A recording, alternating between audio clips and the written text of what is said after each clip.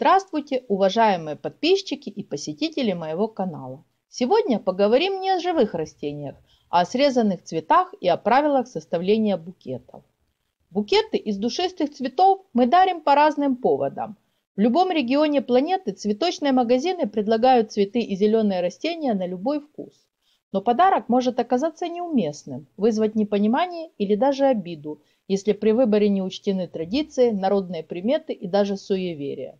Особенно неприятно то, что вы можете знать все правила составления букетов, но приехав куда-нибудь погостить, столкнетесь с местными обычаями. Они могут существенно отличаться от тех, к которым вы привыкли.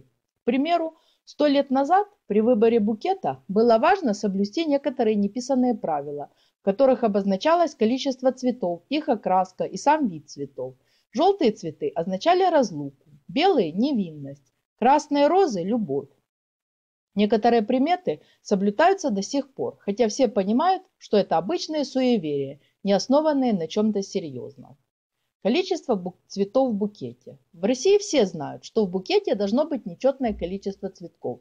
Если четное, это траурный букет. Но у жителей многих европейских стран и США существует совершенно иная точка зрения по этому поводу.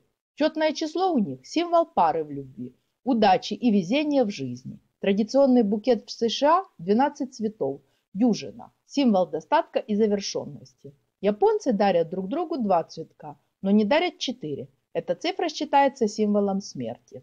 Поэтому, если вы не знаете, какое количество цветов принято дарить, прибегните к небольшой хитрости – Выбирайте композицию из множества компонентов или букет, в котором несколько крупных соцветий сочетаются с мелкими цветочками. Например, розы, фрезии и веточка гипсофилы. Точное количество крошечных ромашек гипсофилы сосчитать невозможно, а значит вопрос количества становится неактуальным.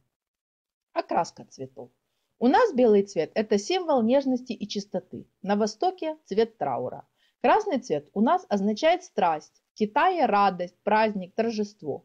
Желтые цветы, по старинным поверьям, это вестники разлуки, а в других странах это солнце, тепло и радость, позитивные эмоции и знак дружбы. Если возникли затруднения по выбору цвета, то выручит пестрый букет, в котором собраны цветы с разной окраской.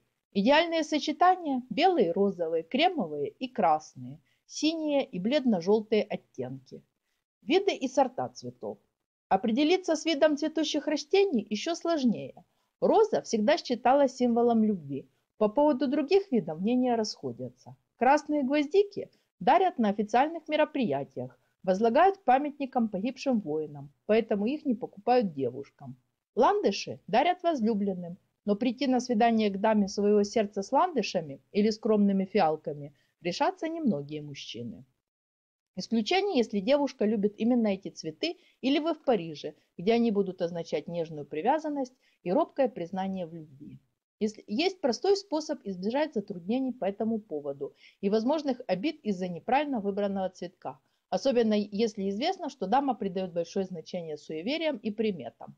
Покупайте букеты, включающие экзотические цветы, названия которых не всем известны, например, эустомы и антуриумы, герберы и стрелиции, альстомерии и фрезии. Незнакомое растение трудно связать с каким-либо старинным народным поверьем. Удивительно, но такие цветы купить порой проще, чем колокольчики или ромашки. Доставка цветов, заказанных через интернет, перестала быть чем-то необычным. Цветочные материалы для составления композиций поставляют большими партиями, что снижает их стоимость, места их промышленного выращивания – Европа, Африка и Азия. Какие цветы нельзя дарить женщинам? Не стоит дарить цветы, которые уже распустились и края лепестков начинают вянуть. Такие цветы долго не простоят и могут испортить настроение.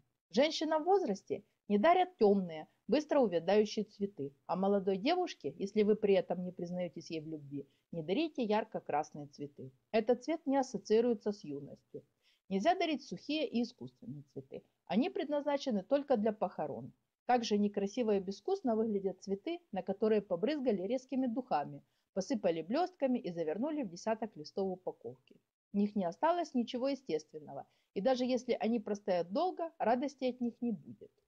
Также есть особая категория цветов, те, которые принято дарить только мужчинам. Это гвоздики, каллы, орхидеи, лилии, гладиолусы, бамбук, дельфиниумы. Эти цветы можно дарить женщинам только если знаете, что они у них любимые.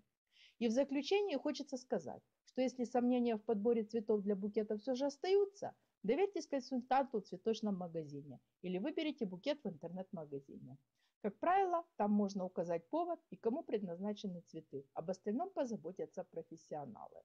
Подписывайтесь на канал, ставьте лайки, пишите комментарии.